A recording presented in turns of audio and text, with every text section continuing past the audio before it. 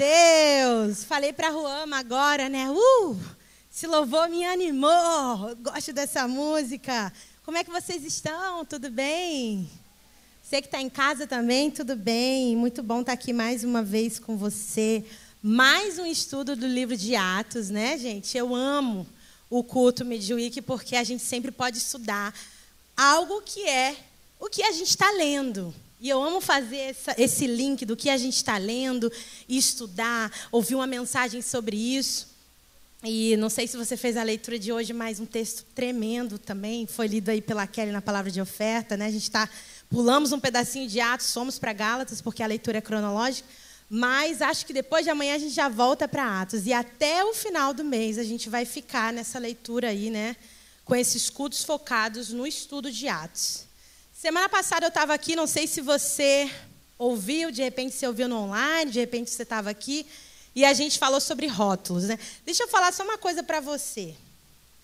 Eu estou muito ofegante, não sei se isso tem a ver com estar tá grávida, mas eu estou muito ofegante. Se não for, gente, já prepara o SAMU aí para mim, porque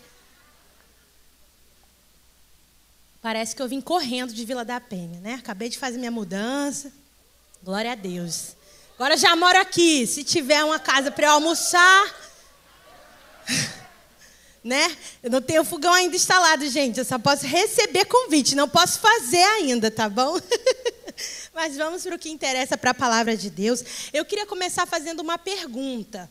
E aí eu já vou, na sequência, me entregar, tá bom? Quem aqui, melhor, na escola, quando você estudava, volta um pouquinho mais atrás. Ensino fundamental ou no ensino médio, aí, para alguns casos, o ensino fundamental fique muito no passado. Onde você costumava se sentar na sala de aula? Você era tur da turma do fundão? Quem era da turma do fundão? Levanta a mão. Seja verdadeiro, em nome de Jesus. O ama. Meu Deus, gente, eu não estou acreditando. Você, você que está em casa, tem a galera que é o pessoal lá do fundão que coloca o terror, né? Tem um pessoal que eles não querem se comprometer, então eles ficam aonde?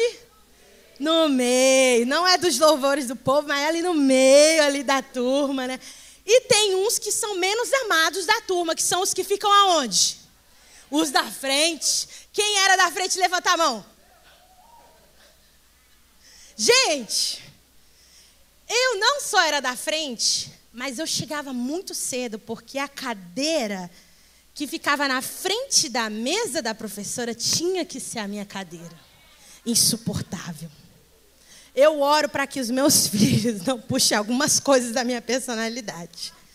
Gente, eu era aquela aluna que não só ficava na frente, mas que brigava para escrever na lousa que, que pedia para a professora para tomar conta da turma quando a professora ia pegar o giz. Meu Deus, que coisa terrível, né?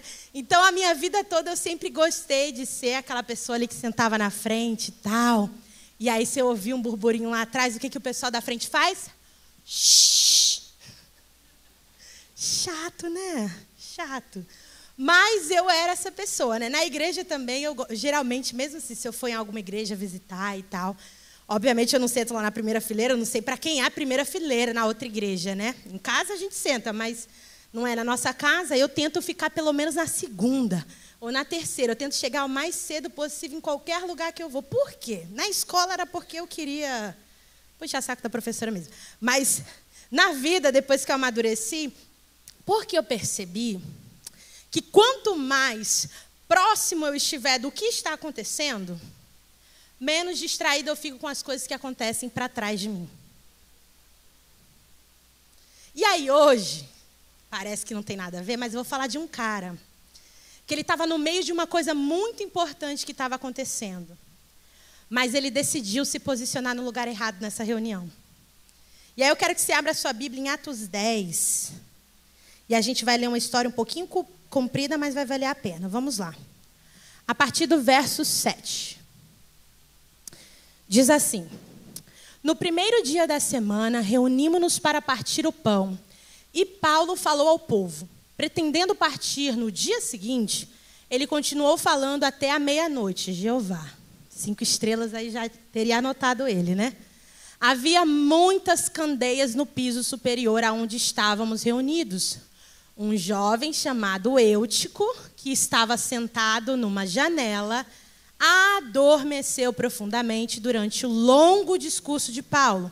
Vencido pelo sono, caiu do terceiro andar. Quando o levantaram, estava morto. Paulo desceu, inclinou-se sobre o rapaz e o abraçou, dizendo: Não fiquem alarmados, ele está vivo. Então subiu novamente, partiu o pão e comeu. Depois continuou a falar até o amanhecer e foi embora. Gente, que loucura, né? Antes de eu falar para você o que me saltou aos olhos nessa passagem, quando eu estava lendo hoje de, de Atos 20, é, só para você entender o que estava acontecendo. Paulo ele estava na terceira viagem missionária dele. Ele estava nessa viagem missionária em Éfeso e ele fez muitas coisas lá. Ele implantou uma série de igrejas, é, eu acredito que em todas as províncias de Éfeso. Então ele estava numa batida de trabalho muito frutífero. Ele estava trabalhando, implantando igrejas, encorajando pessoas, edificando pessoas, levantando presbíteros, é, é, fazendo discípulos, e estava trabalhando a beça. Aí ele decide passar um dia num local, que é esse local onde acontece esse episódio, que é um lugar chamado Troade. Perceba que Paulo não estava em Troade, ele passou por Troade. Então, aquele dia era uma única oportunidade de ouvir o grande apóstolo Paulo. Porque no dia seguinte a passagem já conta que ele estava a caminho de Jerusalém. Ali mais à frente de Atos 20, você vai ver ele falando, né? Se despedindo ali, mais, mais à frente na história, tá? Falando que, olha, vocês não vão me ver mais, essa é a última vez que a gente vai estar juntos e tal. Então, provavelmente, o povo ali daquela província, daquele local, estava vendo e ouvindo o apóstolo Paulo pela última vez. Pastor, o que, que isso tem a ver? Isso tem a ver porque eu vou falar um pouco com você sobre o que aconteceu na vida de Eutico. E é importante você perceber que não era só mais um dia, não era só mais um culto, não era só mais uma pregação qualquer. Não era só, sabe, assim, ah, amanhã eu vou lá que ele está lá de novo. Não. Era uma oportunidade única. Tanto uma, era uma oportunidade única que o apóstolo Paulo se estendeu até o amanhecer. Como quem diz assim: eu só vou passar um dia aqui, eu quero ensinar o máximo que eu puder para o povo desse lugar. Era isso que estava acontecendo aqui nessa passagem. Só que ali nós vemos um episódio, e hoje eu quero focar em falar com vocês sobre um tema, não sei se colocaram aí no slide, mas que se chama Saia da Janela. Você pode falar assim comigo? Saia da janela. É interessante porque talvez você já ouviu alguma, alguma mensagem falando sobre Eutico e sobre essa, esse episódio, e a gente costuma pensar e falar nesse episódio sobre o crente Raimundo. Você já ouviu do crente Raimundo? Crente, tem algum Raimundo aqui em nome de Jesus? Não, não né? Amém, mas provavelmente no online vai ter. É, Dizem, não sou eu que inventei isso, dizem, né, que o crente Raimundo é aquele crente que está com o pé na igreja e o outro pé no mundo, não é? Então, né, as pessoas geralmente usam essa passagem para falar, né? Ah, você está na janela, você está com o pé na igreja, você está com o pé no mundo, eu tipo, caiu porque estava com o pé no mundo, o pé na igreja e tal. Só que hoje eu quero meio que desfigurar essa ideia e trazer para um contexto mais próximo da gente. Porque se a gente pensar nessa passagem como algo assim de alguém que está com um pé no mundo e um pé na igreja, nenhum de nós vamos olhar para dentro de nós mesmos. Porque todos nós estamos dentro da igreja, sim ou não?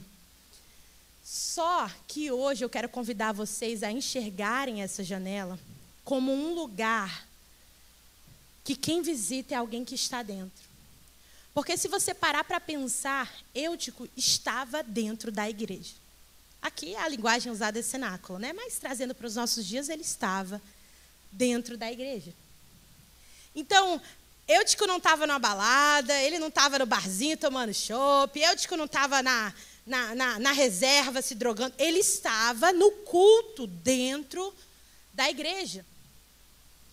Só que no lugar certo, preste atenção, ele decidiu se posicionar de forma errada. Eu vou repetir.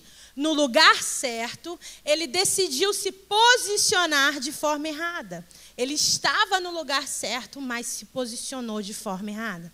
E aí eu quero falar com vocês algum, alguns pontos sobre o que eu aprendo, e eu quero ir aprender com vocês e discutir isso com vocês hoje, sobre a vida de Eutico e sobre essa janela que a gente lê em Atos 20. Amém? Vamos mergulhar nessa palavra? Queria te convidar a fechar os seus olhos. Eu sei que a presença do Espírito Santo está aqui.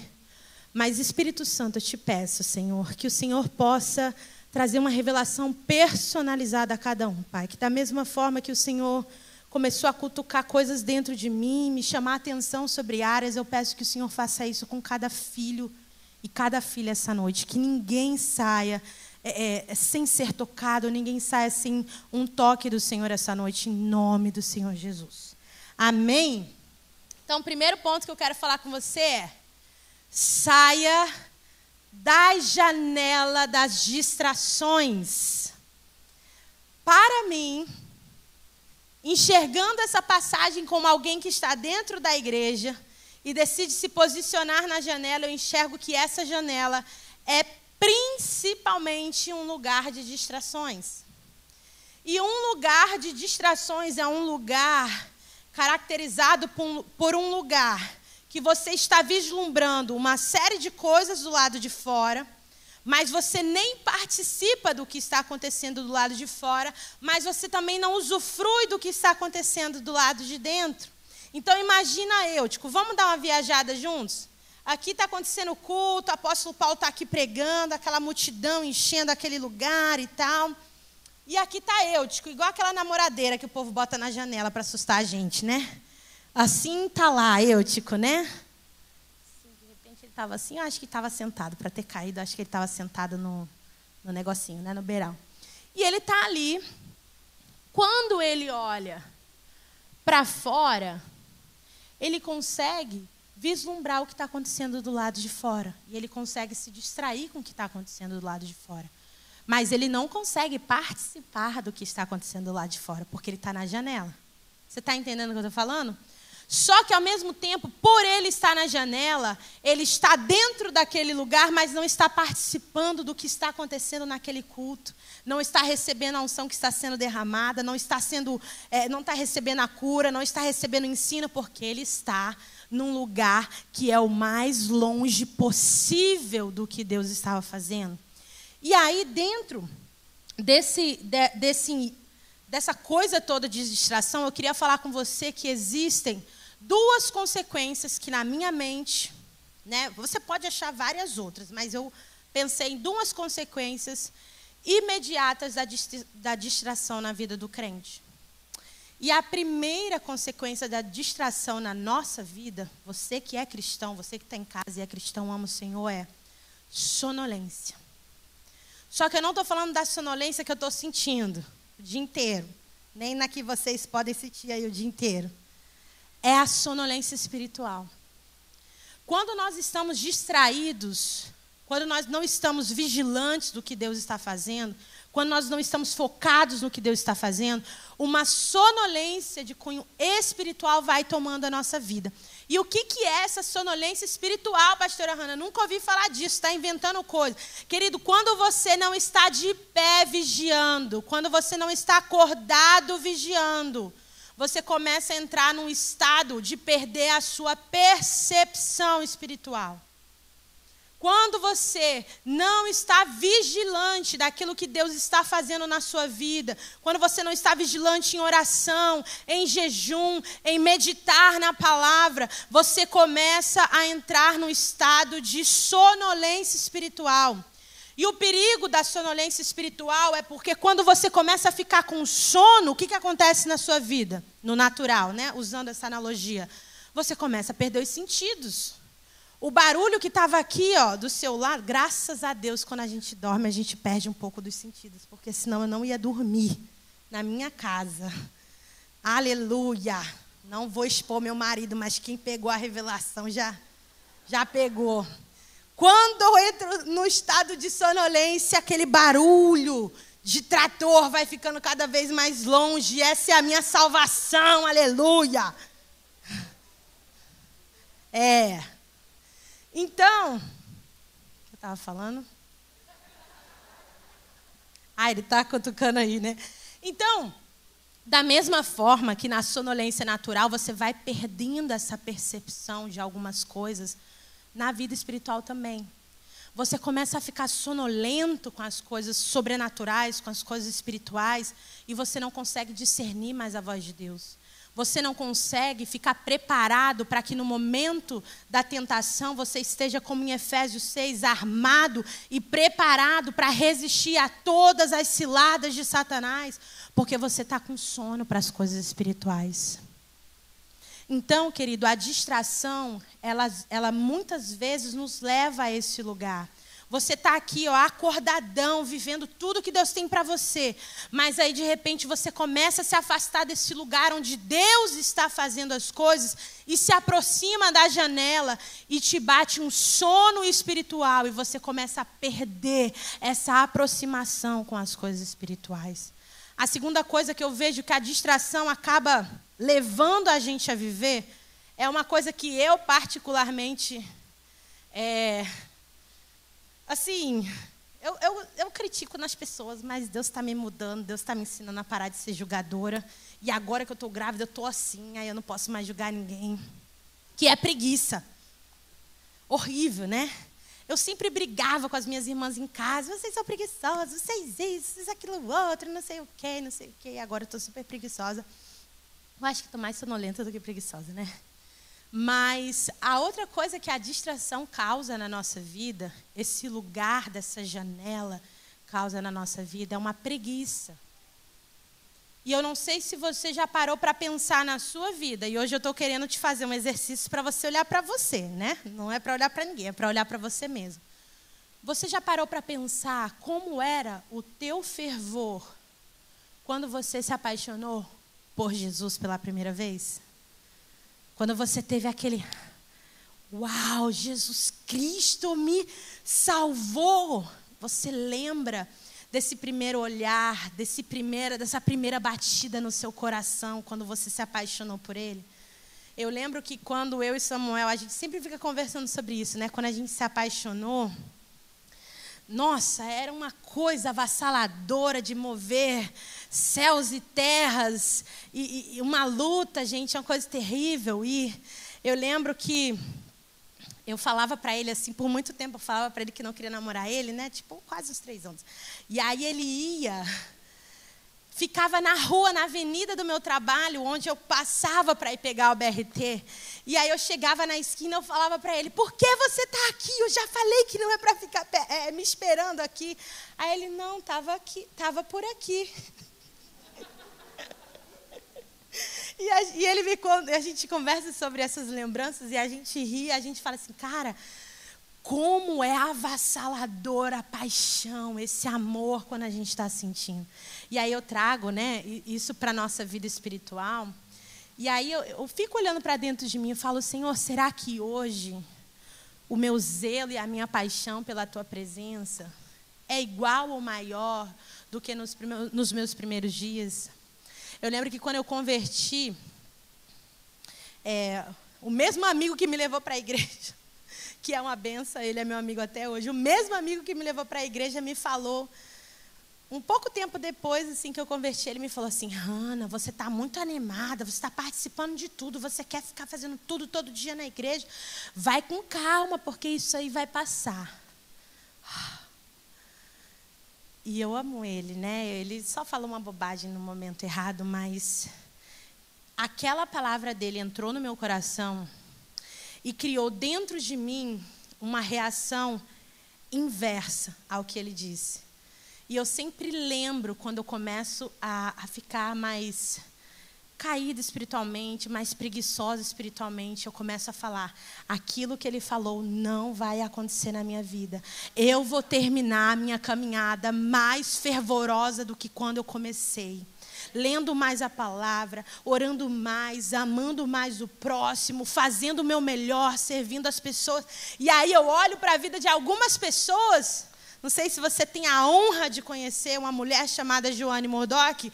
E eu olho para a vida dela e falo: é possível, é possível ter mais de 80 anos e ser mais apaixonada pelo Senhor do que 50 jovens que acabaram de aceitar Jesus. É possível, é possível não cair num lugar de marasmo espiritual, de preguiça, de sonolência, se você quiser. O que você vai viver com o Senhor vai ser melhor e maior do que você viveu nos primeiros dias, amém? O amor e a paixão que está por vir vai ser ainda maior do que o que você viveu nos primeiros dias. Eu creio que isso pode ser realidade na sua vida se você quiser, amém? Então eu falei com você que o primeiro ponto é saia da janela, porque a janela é um lugar de distração.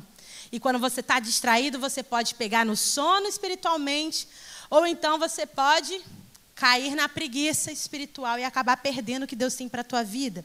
O próximo ponto que eu quero falar com você é volte ao lugar do interesse. Aqui eu quero tomar um pouco mais de tempo, porque o Senhor falou muito comigo nesse ponto. Eu comecei falando para você que o apóstolo Paulo estava por um dia só naquele lugar, né? Então, provavelmente seria ali a última oportunidade daquele povo ouvir aquela mensagem da boca de um grande homem um homem que estava fazendo grandes coisas. Só que Eutico, independente de o lugar estar cheio ou não, porque você pode estar pensando assim, pastor, às vezes o garoto estava na janela porque não tinha espaço na cadeira, né? Pode ser. Mas e dormir? E dormir? O que defende o Eutico de dormir? Porque se ele estivesse interessado, ele não dormiria. Porque de todos aqueles que estavam no cenáculo, apenas um relato de alguém que dormiu. Eutico, aquele que estava sentado na janela. O segundo ponto que eu quero, quero falar com você é volte para o lugar de interesse. Uma das coisas que eu confesso para vocês que mais entristece meu coração na caminhada, desde que eu comecei a, a caminhar no Evangelho, era olhar para o lado e ver que algumas pessoas que caminhavam comigo, que se apaixonaram por Jesus comigo, que fizeram um encontro com Deus comigo, a gente tem aquela fotinha do encontro, né? Eu tenho até hoje a minha fotinha do encontro que a gente fez, e eu olho para aquela foto e eu penso assim: essa pessoa aqui parou na caminhada. Esse outro aqui da ponta ficou no meio do caminho. Esse aqui tomou outro rumo para a vida dele. Isso, particularmente, é uma das coisas que me deixa mais triste. E a perda do interesse, querido, ela não acontece instantaneamente. Não é um dia que você vem para a igreja e aí o pregador não é o seu favorito, aí aquele dia faz com que você perca o seu interesse. Não é assim. A perda do interesse é um processo. Você vai processualmente deixando de se interessar por algo. E eu estou falando especificamente hoje das coisas espirituais. Eu quero ler com você uma passagem que está aqui em 1 Crônicas 15, versículo 29, que fala assim: Aconteceu que entrando a arca da aliança do Senhor na cidade de Davi, Mical, filha de Saul, observava de uma janela. E ao ver o rei Davi dançando e comemorando, comemorando, ela o desprezou no seu coração. Mical não tinha interesse nas coisas espirituais e sobrenaturais que Davi estava vivendo. Davi estava lá celebrando algo grande que o povo de Israel estava esperando há muito tempo, o retorno da arca do Senhor. E Mical estava observando da janela, ou seja, sem participar da adoração. Ela estava observando da janela a adoração de Davi e achou a adoração dele exagerada. Perceba que quem está na janela e não está participando do que acontece na mesa do Senhor vai achar que é exagero o sacrifício que você apresenta no altar de Deus. Quantas vezes na minha casa eu fui chamada de bitolada? Alguém se identifica? Não precisa levantar a mão. Quantas vezes pessoas criticam porque nós dizimamos, porque nós escolhemos namorar de um jeito certo, casar de um jeito certo, ou mesmo que não começou certo, a gente decide consertar depois, a gente decide se sacrificar dessa forma, criar um filho direito. E as pessoas olham para isso e elas desprezam as nossas decisões. Elas desprezam as nossas decisões, mas para o Senhor isso sobe como aroma agradável, porque a adoração de Davi subiu como aroma agradável para o Senhor. Não foi o coração daquela que estava na janela que agradou o Senhor, foi o coração daquele que estava lá pagando de bobalhão, dançando e pulando na presença do Senhor, sendo criticado. Foi aquele coração que o Senhor disse: Esse é segundo o meu coração. Esse é o coração segundo ao meu. Não o coração do observador, do crítico que não valoriza. Então, querido, eu sei que talvez essa palavra possa soar assim um pouco, poxa, meio pesadinho e tal, mas assim, na nossa realidade de igreja, Quantas vezes, assim, né, a gente não fica vigiando o que as pessoas estão fazendo, mas quantas vezes eu sento assim do lado e a pessoa que está do meu lado, na hora da palavra, na hora da palavra de oferta, na hora do louvor, está olhando o Instagram. Está vendo lá, sei lá o quê, está vendo o G1, está fazendo alguma coisa. E o meu papel não é vigiar quem está fazendo isso. Mas eu vou falar isso porque eu já fui essa pessoa que fez isso. Só que o Espírito Santo, se você permitir ele tocar o seu coração, ele vai falar ao seu coração. Não é hora de distrair. Não é hora de olhar para as coisas que estão ao redor, é hora de focar no que está sendo apresentado à mesa. E todos os dias, um culto, querido, é um banquete apresentado. Primeiramente é um banquete, né, é uma oferta, um altar ao Senhor, mas também é um banquete para aqueles que estão participando, aqueles que estão recebendo, a comunhão é um banquete, o ensino da palavra é um banquete, a adoração é um banquete para que você também se entregue ao Senhor. E quantas vezes a gente está no meio desse lugar de adoração, no meio desse lugar santo, onde a palavra é ministrada, não estou falando da pessoa que prega, não estou falando da pessoa que canta, estou falando do que está sendo feito ali. E nós estamos passeando lá fora, é é, é, é, assim, né? Ah, essa é a hora de ir lá comprar o Trident do outro lado da rua. Na hora que nós estamos aqui ouvindo a palavra, na hora que nós estamos ouvindo a palavra de oferta, na hora do apelo, querido, o que está acontecendo no nosso meio é santo e se nós não valorizarmos isso, nós seremos achados igual Mical aquela que ao invés de valorizar e honrar o que está acontecendo na mesa do Senhor, ela despreza, ela se desinteressa. Então hoje, eu quero ministrar essa palavra com vocês, porque o Senhor também me chamou a atenção sobre algumas coisas específicas da minha vida, que talvez você está desinteressado de coisas que o Senhor colocou interesse no seu coração.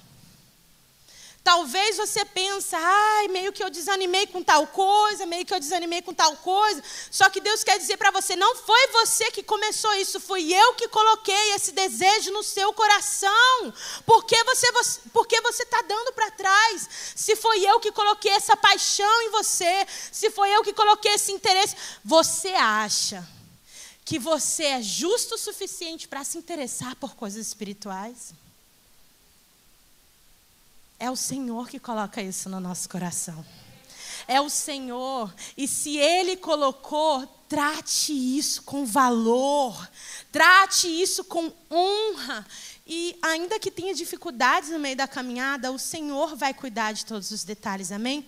Então, o que eu declaro aqui antes de prosseguir é que todo desinteresse que houver na sua vida nesse momento, em alguma área que o Senhor colocou na sua mão, que esse desinteresse se dissipe e que volte a chama da paixão no seu coração, que volte o zelo, que volte o fervor, que volte a vida, que volte a paixão, que você volte a ter alegria na salvação, que você volte a ter alegria no congregar, que você volte a ter alegria em compartilhar uma oração, em compartilhar o pão com o irmão, em nome de Jesus, e que todo desinteresse espiritual caia por terra.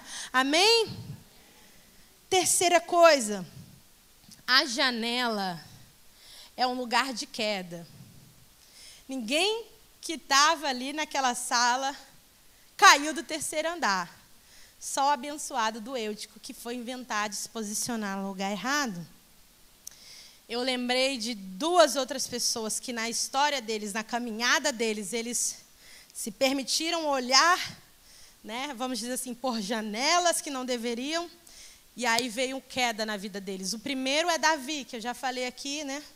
Davi tem muita coisa positiva, mas ele também foi exemplo de coisas bem negativas na história, né? E uma dessas coisas negativas que marcam a trajetória do rei Davi é que um dia ele estava num lugar e decidiu olhar para onde ele não devia. E aquele olhar levou ele a pecar. Aquilo ali gerou uma grande destruição na vida dele e, na verdade, na família dele inteira. E outro homem que me vem à mente, né, a gente não vai ter tempo de ler todas as passagens, mas você vai lembrar, outro homem que olhou para onde não devia e começou a desejar o que não devia, e a sua vida foi totalmente destruída é Sansão. Ele olhou para a mulher que não devia e disse: "É essa que eu quero e eu quero porque eu quero". E ele teve aquela mulher que ele queria e a vida dele foi totalmente estraçalhada, porque eles estavam distraídos, eles estavam olhando para o lugar onde não devia. A janela é esse lugar de queda. Eu quero que você entenda que o que eu estou falando hoje não é, é pastora, é, do jeito que você está falando, parece até que a gente é robô, a gente vai ser sempre super espiritual, super de oração, super de jejum. Gente, eu sei que isso não existe. Talvez alguma irmã aí seja fiel a esse ponto, mas eu sei que a nossa realidade, nós temos uh, dias lá em cima, espiritualmente falando, mas aí nós também temos dias um pouco mais lá embaixo, espiritualmente falando. Eu também tenho dias assim. O que eu estou falando para você é, mesmo nos seus dias assim, não se posicione no lugar errado mesmo nesses dias assim, permaneça no centro do que Deus está fazendo. Permaneça coladinho com o Senhor, coladinho no lugar de comunhão, coladinho com seus irmãos, porque se você dormir, você não vai cair do terceiro andar. Você lembra da parábola das dez virgens, Mateus 25? Não está aí, não, não precisa se preocupar. Mateus 25 vai contar a parábola das dez virgens. E nessa história, você vai perceber que todas as dez dormem, sim ou não? Todo mundo dorme. Trazendo para o nosso contexto da mensagem, é todo mundo ali teve um, uma falhinha, né? Todo mundo sentiu sono e todo mundo dormiu. Só que algo diferenciou a história de cinco das outras cinco, chamadas as prudentes e as insensatas. Cinco delas dormiram, mas ao ouvirem que o noivo estava chegando, elas acordaram e elas estavam preparadas com a botija de óleo cheia. As outras cinco insensatas, que aqui eu vou chamar de distraídas, as que estavam na janela, elas dormiram, também acordaram, mas quando acordaram estavam despreparadas, estavam sem óleo, estavam com as mãos vazias e ficaram para trás. Sabe uma coisa que me impressiona? Muitas vezes nós ficamos distraídos por muito tempo, achando que nós vamos ter tempo de consertar a nossa vida espiritual com Deus antes do Senhor voltar, mas a palavra diz que você não sabe nem o dia nem a hora que o Senhor vai voltar, porque a vinda dele é como um ladrão. Todos estaremos casando, eh, tendo filhos, trabalhando, montando empresa, e quando o olho abrir e fechar, o Senhor retornará e você não tem certeza de quando vai ser esse dia. Então, qual que é a nossa garantia? Estar com essa vasilha de óleo cheia Todos os dias. Você caiu no sono, você está no momento de fraqueza, você está se sentindo mal, você está se sentindo desmotivado. Senhor, eu não estou bem, eu estou cansado, eu quero parar, mas a minha mão está cheia de óleo. Se o Senhor chegar, eu ainda estou na tua presença, eu ainda estou lutando para continuar na tua presença. Senhor, eu estou triste, mas a minha mão está cheia de óleo. Senhor, eu estou me sentindo derrotado, mas eu estou na tua presença e a minha botija está cheia de óleo. Tem dia que é difícil. Tem dia que dá vontade de parar, gente. Eu sei. Mas não fique na janela.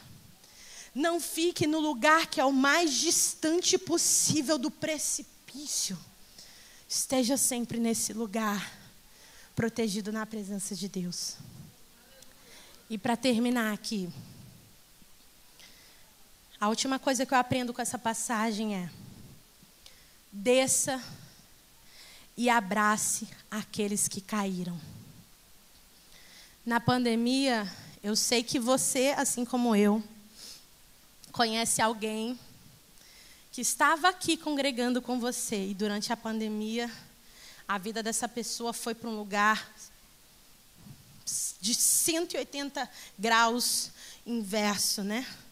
Do que ela estava vivendo.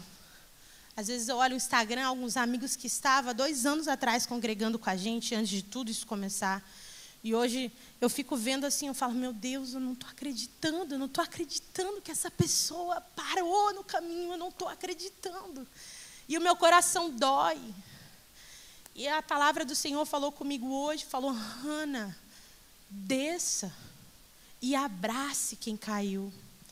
Coloca para mim de novo, por favor, o verso 10.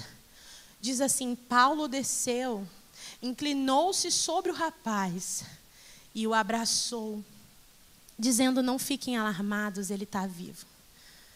Se fosse a Hana, a apóstola Hana, ela ia descer, ia falar: Bem feito.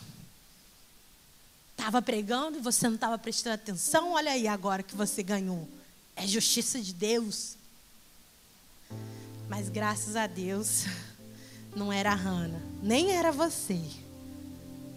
Era um homem de Deus, com o coração transformado, a natureza transformada. Ele não deu sermão, Rafa. Ele não falou assim, deu mole. Sabe por quê, gente? Cachorro morto não se chuta. Defunto não precisa apanhar. Quem tem que apanhar é a gente que está vivo. A gente tem que apanhar para não fazer o que não presta. Mas quem está morto precisa ser curado, precisa ser ressuscitado. Quem está morto precisa vem, levanta. E eu quero te desafiar hoje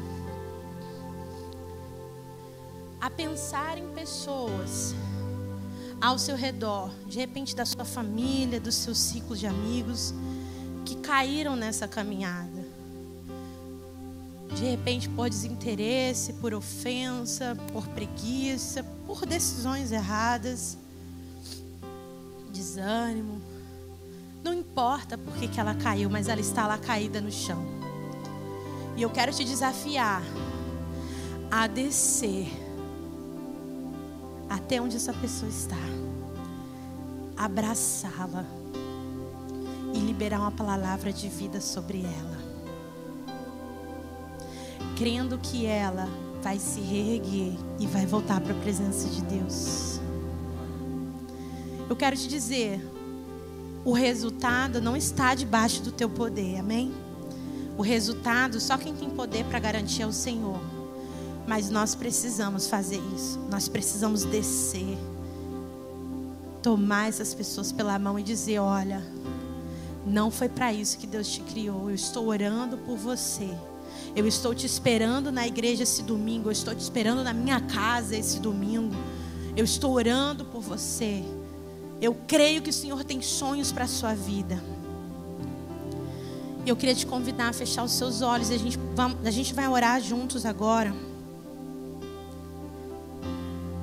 Senhor colocou algumas orações no meu coração hoje. A primeira delas é: se você sente que você está nesse lugar você está dentro, você está você tá aqui, você é crente, você não você não abandonou a fé, você não você não parou a caminhada, mas de repente você está meio longe assim do que está acontecendo. De repente você está meio despercebido das coisas espirituais e você diz assim: hoje eu quero sair dessa janela, pastora.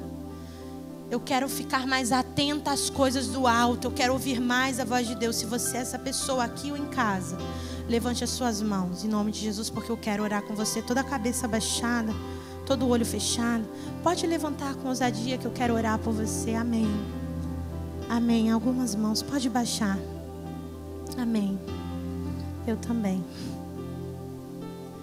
A segunda oração que eu quero fazer é você que se lembrou de alguém que está caído. E hoje você quer ser essa pessoa que vai abraçar e levantar quem está morto espiritualmente. Se você é essa pessoa, se você quer fazer esse compromisso agora, eu quero que você levante a sua mão e diga assim, pastora, eu quero abraçar o caído. Eu quero descer e abraçar alguém que eu estou agora pensando. Nós vamos orar por esses nomes ainda hoje, em nome de Jesus. Amém. Pode baixar sua mão. E eu não posso fechar a nossa noite de culto ao Senhor sem dar uma oportunidade para você que está aqui, você que está em casa, de você ser essa pessoa que estava caída, mas que hoje vai ser levantada pelo poder do Espírito Santo.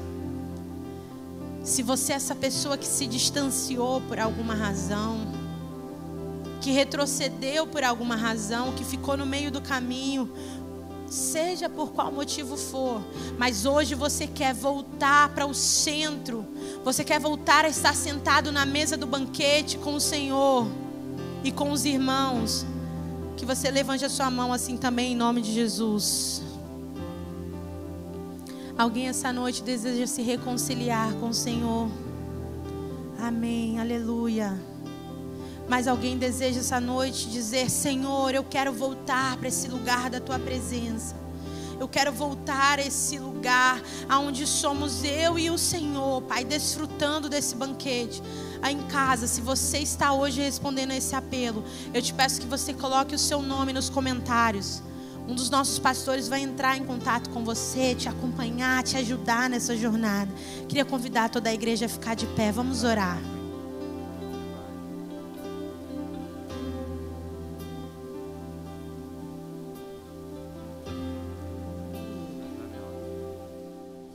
Senhor Jesus.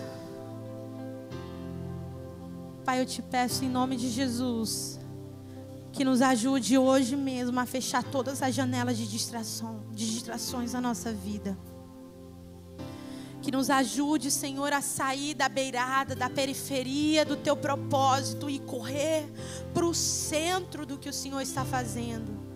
Nos ajude, Senhor, a não ficarmos, Senhor, focados no que está acontecendo ao nosso redor e lançar o nosso coração na tua promessa, naquilo que o Senhor tem para nós. Nos ajude, Senhor, a manter as nossas mãos cheias de botija com óleo, para nós estarmos preparados e vigilantes em todo o tempo. Senhor, eu profetizo sobre a tua igreja, sobre a minha vida e sobre essa casa, que nenhum desinteresse espiritual permanecerá sobre os seus filhos, que os seus sonhos serão reavivados, que o coração será renovado, que todo cansaço, espiritual hoje está debaixo dos nossos pés e que hoje os planos que Satanás tinha enredando os seus filhos nesse sono, nessa distração e nessa preguiça estão sendo todos desatados e quebrados em nome do Senhor Jesus. Os seus filhos não cairão, os seus filhos não pararão, eles não desistirão do propósito em nome de Jesus. Senhor, nós oramos também por cada um que está caído nesse momento, querido. Eu sei que talvez a gente não vá ouvir, mas aí onde você está, comece a citar o nome das pessoas aqueles que estão caídos e você conhece, comece a citar o nome dos seus familiares que não aceitaram Jesus ou que se afastaram. Aqueles que você conhece que durante a pandemia esfriaram na fé, comece a falar: Senhor, o Senhor é paciente, não querendo que ninguém se perca. Toque a vida deles, toque a vida daqueles que estavam correndo na tua presença, mas pararam na caminhada. Chame, atraia, traga de volta para a tua presença, Senhor, em nome de Jesus. E eu abençoo você que hoje tomou a decisão de retornar para o Senhor Jesus. E eu tenho certeza que essa é a maior e melhor decisão da sua vida. Então eu te convido, repita assim comigo em nome de Jesus.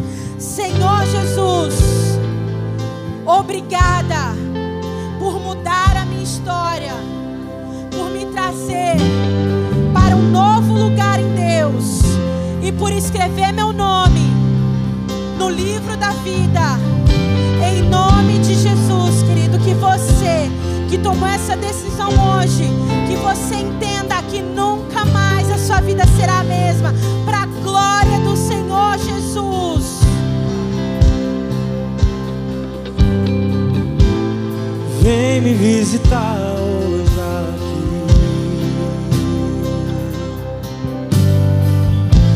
Eu quero conhecer mais de ti.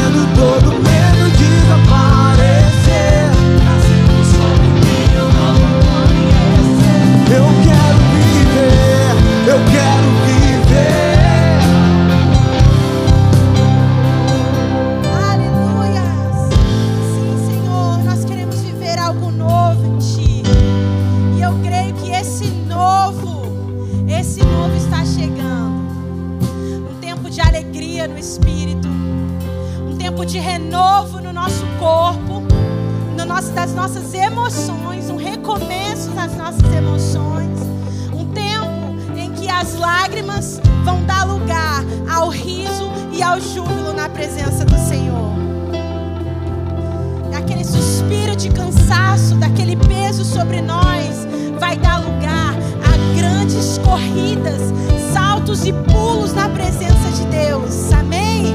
Em nome de Jesus, levante sua mão, eu quero te abençoar. Senhor, obrigado pela tua igreja. Obrigado porque nós somos o seu rebanho. O Senhor é o pastor dessa igreja. Só o Senhor tem um lugar de trono aqui. E nós te devolvemos toda a honra, toda a glória, todo o louvor. Nós depositamos em Ti, só em Ti, toda a nossa confiança. E nós sabemos que hoje o Senhor curou os nossos corações. O Senhor curou a nossa mente, a nossa emoção. E grandes coisas vão vir daqui para frente em nome de Jesus. Querido, que em nome de Jesus, o amor de Deus, a graça do Senhor Jesus e o poder, a consolação, o conselho do Espírito Santo